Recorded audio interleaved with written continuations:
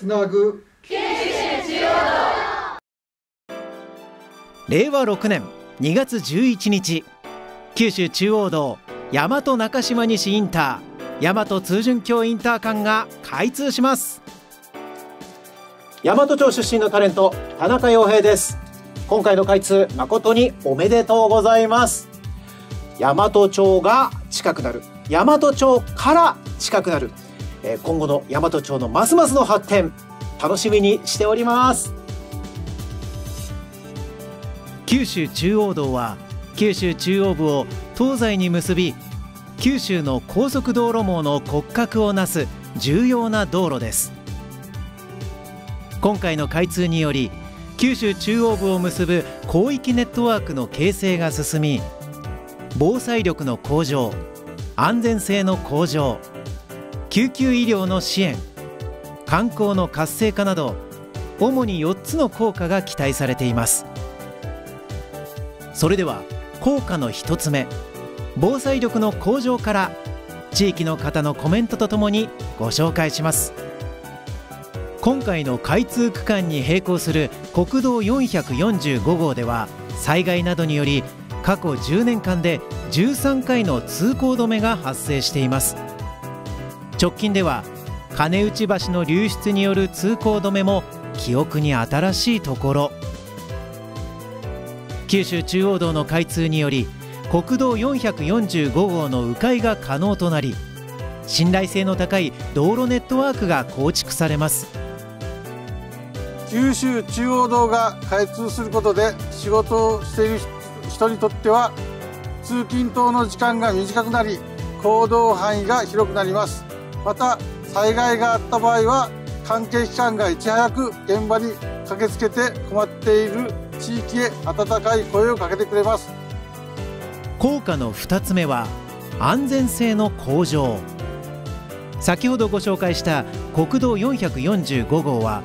道路が曲がりくねっていたり道幅が狭かったりスムーズに走行しにくい場所が多く急ブレーキ急ハンドルの発生率も高くなっています。九州中央道は道路の幅も広く勾配や線形が滑らかな高速道なので安心して走行できます。木材は大型のトレーラーを使って運ぶ必要があるので狭い道路やカーブが多い道路と運搬が課題となります。大型車も通行しやすい九州中央道の開通を待ち望んでいました。熊本県山間部の道路は道が狭くカーブが多いのが特徴です。九州中央道の開通により時間の短縮が期待できます。これはドライバーの負担が減ってコストの削減となります。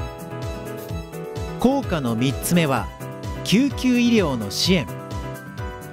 大和町では年間700件を超える救急搬送が行われていますがそのうちおよそ6割が熊本市内へ搬送されているんです。今回の開通により熊本市内への搬送時間が短縮され救命率の向上が期待されます。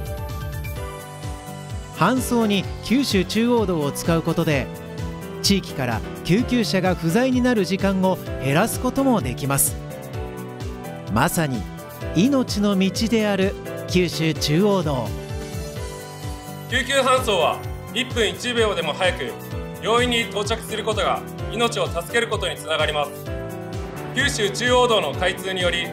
救急搬送の時間が短縮することを心待ちにしていました。一人でも多くの方の命が助かる守られるそんな健やかな暮らしのある未来を期待します。効果の4つ目は観光の活性化。大和町には令和5年9月に国宝指定された皆さんご存知の通順橋や蘇陽橋などの観光資源があり周辺の阿蘇地域や宮崎県の高千穂町は九州有数の観光地です。今回の開通により熊本市方面からの所要時間が短縮。大和町への観光客の来訪増加などが期待されます。今後九州中央道がさらにつながることで点在する観光地の周遊性が向上し広域観光ネットワークの形成が期待されます。大和町にある通順橋がこの度国宝指定となりました。街中には八作祭りの大作り物があり見どころたくさんある町です。多くの人に大和町に来てもらうと町内企業の活性化が期待できます。今回の開通で期待されるさまざまな効果。今後九州中央道がさらに整備されることで九州の交通がもっともっと便利でスムーズになります。人物心が九州の中心でつながることで暮らしのにぎわいや安全が増して地域や産業の活性化を可能とするでしょう。